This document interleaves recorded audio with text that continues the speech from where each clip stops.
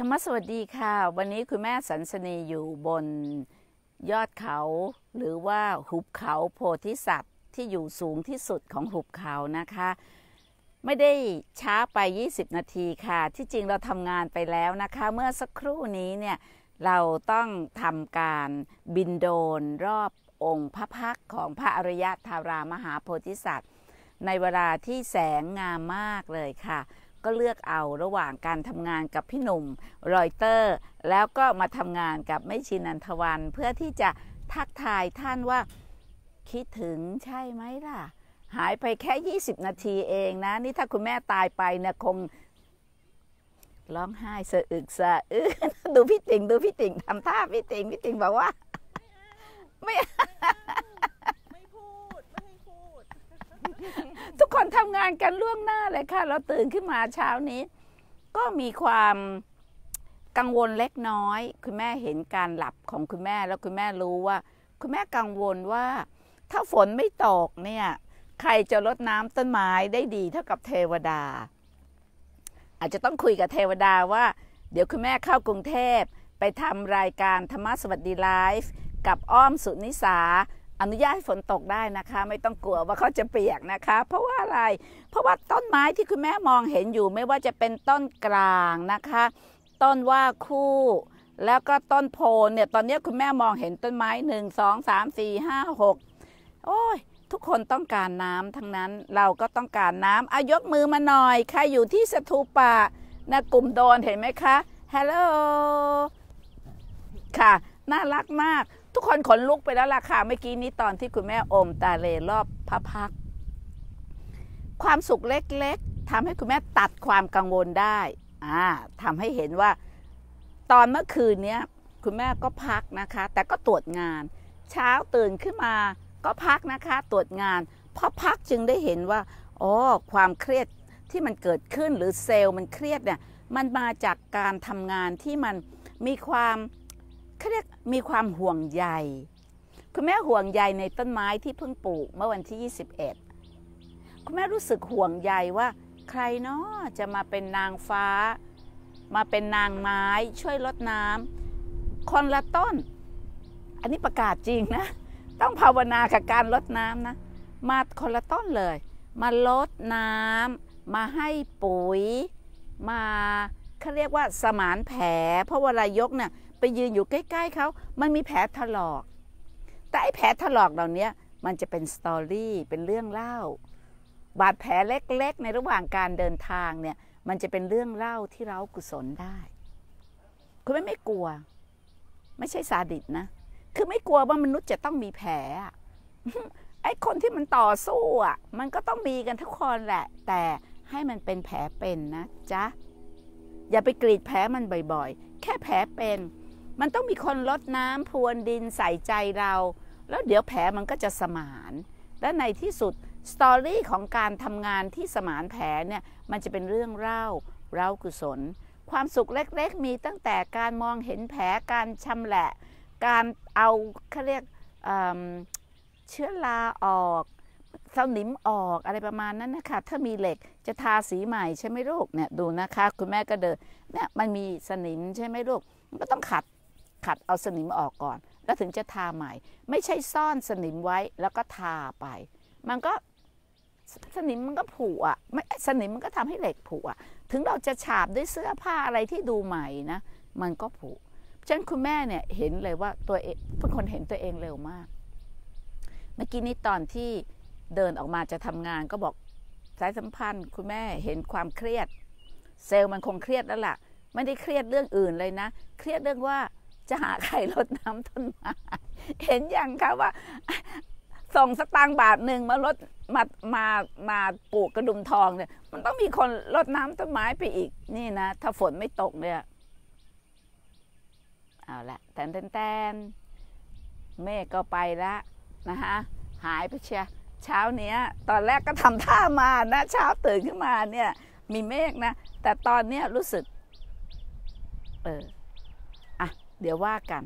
เดี๋ยวเราดูกันสตูปะก็มีลมพัด ถ้าอย่างเงี้ยแสดงว่าอากาศมันไม่นิ่ง เราก็ดูเสียงนกก็ดังแข่งกับเราเชียว จิบจับ จิบจับ แล้วก็เห็นนกกระจาบ เดี๋ยวจะให้ดูเขาตั้งกล้องนกกระจาบอยู่ที่เมื่อวานนี้ไปเดินอยู่ที่4ี่แสนลิตร ตรงนั้นนะคะ มีนกกระจาบรอคอยเจ้านกกระจาบมากเลยคู่นี้แม่เตรียมตั้งรังแล้ว แล้วมันเป็นกลมๆ แล้วมันก็มีความสุขเล็ก ๆนะคะ ที่จะบินเข้าไป คุณแม่มองเห็นความสุขเล็ก ๆ รอบตัว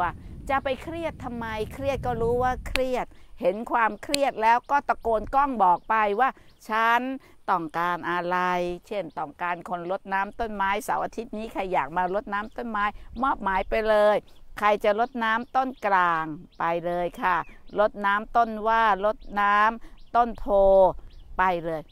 ตอนนี้ห่วงที่สุดยางนาต้นเล็ก ๆ ยังไม่ปลูกก็ห่วงน้ำเนี่ยแหละ สมชายถามว่าตัดสินใจยังไง ก็เอาอย่างนี้ กลับไปดูวางแผนการลดน้ำเพื่อที่จะให้เรามีความสุขเล็กๆ เปรียบเหมือนน้ำที่หยดลงไป เรามีความสุขเล็กๆในใจของเรา และไอ้ความสุขเล็ก ๆ มันก็กลายมาเป็นน้ำตอนนี้มีน้ำแล้วดูสิคะบ่อมังกรเนี่ยน้ำเต็มเลยกำลังจะหาวิธีการ เอาดินที่ใต้บ่อขึ้นไปเป็นภูเขา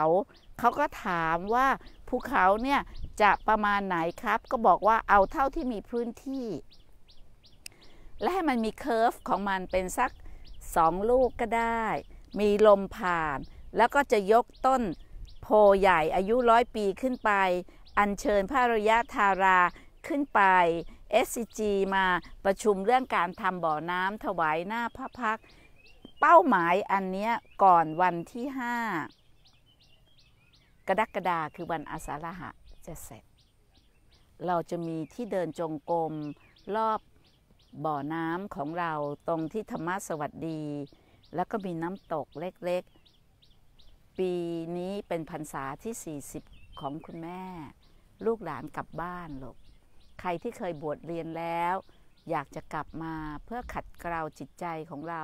ให้เติบโตต่อไปก็มาเลยถูก เรื่องดีไซน์กุฏิก็กำลังทำกันแล้วนะคะ ลองดูแต่ไม่ต้องกลัวนะคะ ไม่ต้องกลัวว่าจะไม่ได้นอนใกล้คุณแม่นะมีคนส่งกำลังใจมาให้คุณแม่ค่ะเห็นคุณแม่กังวลเหรอค่ะอะเข้ามาใกล้ๆ ใครล่ะอะมาอ่านสิเขาจะได้มีส่วนร่วม คือคือกำลังใจตอนนี้ไม่เอาอะเอากำลังแรงอะใคร มาจากฮ่องกงใครอยู่เพชรบุรีนะมากันหน่อยเถอะแต่ขอให้เป็นคนรักต้นไม้นะ มาช่วยกันเอายาสมานเปลือกต้นไม้ มาทามารดน้ำต้นไม้ มามาช่วยปลูกกระดุมทองก็ได้ เพราะตอนนี้กระดุมทองปลูกไปได้ประมาณสัก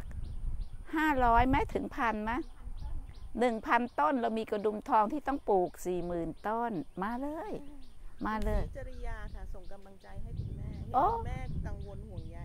ศรีจริยาก็น่ารักมากมาทุกครั้งเลยเด้งก่อนเลยเนี่ยเป็น top fan เลยนะคะเอาละค่ะใครเป็น top fan วันนี้นะคะ ไม่ต้องกลัวว่าคุณแม่จะเป็นอะไรให้รู้เลยค่ะ คุณแม่เพียงแต่บอกไป คุณแม่รู้ว่ามีคนที่เป็นอัศวินแอบดูคุณแม่อยู่เดี๋ยวก็ไปจัดการกันละแต่เดี๋ยวคุณแม่จะบินฟึดไปที่เสถียรธรรมสถานหนึ่ง พบกันอีกทีหนึ่งตอนประมาณสัก4ี่โมงครึ่งนะคะ กับอ้อมสุนิสาแล้วคุณแม่ก็จะคุยกันเรื่องความสุขเล็กๆ แล้วก็จะรีบบินกลับมาปืดเป็นแม่ชีกายสิทธิ์ฟู่อย่างนี้เลยค่ะ เพราะเดี๋ยวเขาจะเรียกอีกแล้วค่ะ ยังไม่ได้ขึ้นรถนะคะดูทางโน้นฮัลโหลเนี่ยเริ่มละเดี๋ยวเขาจะให้คุณแม่เนี่ยเดินดูชิปเป้าเห็นไหมเป็นอะไรที่แบบโอ้อบอุ่นอบอุ่นนะคะ ใครไปแล้วก็รีบกลับมา โดยเฉพาะคนที่จะมาช่วยวางแผนการเขาเรียกาการทำในจากนี้ไปอีกประมาณสักหนึ่งเดือนกว่าๆนะคุณแม่ว่า มิถุนาเนี่ยมิถุนาเนี่ยจะทำงานหนัก ฝนตกแล้วฤดูฝนมาน้ำมีแล้วดูสิคะน้ำเต็มบ่อไปเรื่อยๆนะคะ หาเครื่องมือลดน้ำต้นไม้ให้ได้ และจากนั้นพันษา วันที่5วันอาสาฬหบูชา เดือนอะไรรู้ไหมกรกฎาคมนะคะ ตรงนี้ก็จะมองเห็นเป็นที่สัปปายะสำหรับการภาวนาในพรรษาที่ 40 กับการเริ่มต้นพรรษาแรกของคุณแม่ที่หุบเขาโพธิสัตว์พรรษาแปลว่าฤดูฝน ขอให้ฝนตกนะเจ้าค่ะช่วยหน่อย อย่างน้อยก็เอาร้อนที่มันอยู่ที่ก้อนหิน ให้เย็น ต้นกลางต้น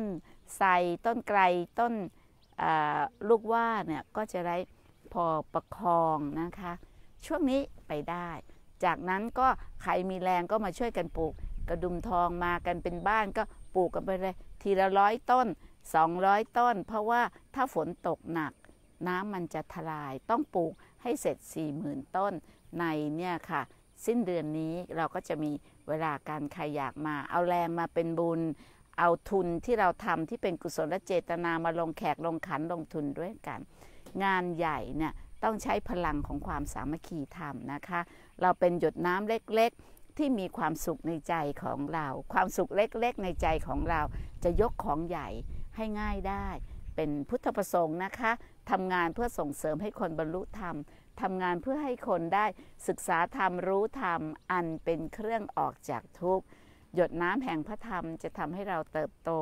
หยดน้ำแห่งพระธรรมจะทำให้เรางอกงาม มีรากเป็นความเข้าใจของความรัก ความรักงอกงามเสมอเลยค่ะ หมดเวลา 15 นาทีที่เขาให้คุณแม่แล้ว มีคำถามหรือว่าการทักทายอะไร เดี๋ยวไปตอบกันตอน 10โมงครึ่งนะคะ พี่ติงเมื่อคืนหลับดีไหมลูก แม่แล้วเมื่อกี้ตอนที่คุณแม่ตั้งสัจจะอธิษฐานพี่ติ่งได้ยินเสียงพี่ติ่งรู้สึกยังไงขนลุกเลยค่ะอ่ามาตรงนี้ เพราะว่าพอข้างล่างก็บอกว่าคุณแม่ภาวนาได้เลยครับ คุณแม่ก็ภาวนาเลย เสียงลงไปเลยค่ะขนาดอยู่ไกลมากยังได้ยินเสียงคุณเออคุณแม่เลยะนึกว่าเขาเปิดไอ้โทรไม่ได้เปิดค่ะอืมไม่ได้เปิด เราภาวนาไปด้วยกันพี่ติงคะเราต้องภาวนา ภาวนาแปลว่าทำให้ดีขึ้นเจริญขึ้นทุกๆวัน ทุกหยดน้ำของพลังแห่งการภาวนาเนี่ยมันจะเป็นน้ำใส ที่มันจะไหลไปสู่คนอื่นด้วย โดยระดับปัจเจกเราต้องทำเองเป็นหยดน้ำที่เราต้องเริ่มต้นจากตัวเอง ค่อยๆก้าวไป อดีตเอาไว้ที่อดีต อยู่ยังเบิกบานยังมีความสุขเล็กๆ ในปัจจุบัน แล้วเราเชื่อว่าอนาคตเรามันจะมีฐานกำลังอันเนี้ยที่เป็นกุศลวิบากกรรม เราก็จะมองทุกคนอย่างไม่มีเงื่อนไข ใจก็จะกรุณานะคะวันนี้เราสองคนไปกันก่อนนะจ๊ะ ไม่ได้ไปไหนค่ะ ต้องไปหาพี่หนุ่มลอยเตอร์ กับพี่เบิร์ตข้างล่างก่อนทำงาน แล้วเดี๋ยวขึ้นรถหนุ่มกับอามรับคุณยายไป ส่งเสียงไปยังคณะแม่ชีนะคะ ขอบคุณทุกคนที่เปิดบ้านเอาไว้ต้อนรับญาติของเราในเสถียรหนึ่งแข็งแรงมากนะคะ ที่ทำให้วันเนี้ยเปิดได้แล้ว และวันที่ 5 เดือนหน้าเราแถลงข่าวการทำงาน Day and Night เลย เพื่อให้จิตใจของเราที่ผ่านโควิดมาอย่างเหน็ดเหนื่อย โอ้ตอนนี้เศรษฐกะเศรษฐกิจไม่ดีนะคะ เอาจิตใจดีไว้ก่อน แล้วเวลาที่โลกมันเปิดกันอีกครั้งหนึ่ง มันก็เป็น spiritual journey เลย เป็นการเดินทางด้านใน เป็นความสนุกสนานทางปัญญาของเรา ความสุขเล็กๆในใจเนี่ยค่ะเขาเรียกว่า spiritual entertainment ความสุขเล็กๆ ที่มันทำให้เกิดความสนุกสนานทางปัญญานะคะ วันนี้คุณแม่ขอเปลี่ยนเวทีลงไปข้างล่างก่อน แล้วพบกันที่เสถียรธรรมสถานตอน 10โมงครึ่งนะคะ ธรรมสวัสดีค่ะพี่ติงดูสิ